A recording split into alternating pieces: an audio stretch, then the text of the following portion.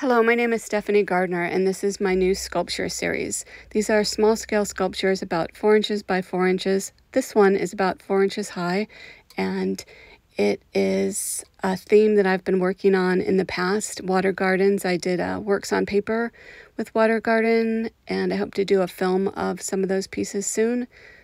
Um, but this is a water garden sculpture, and the inspiration for this piece was uh, my art dealer loved a previous piece and it sold before he had a chance to collect it for himself.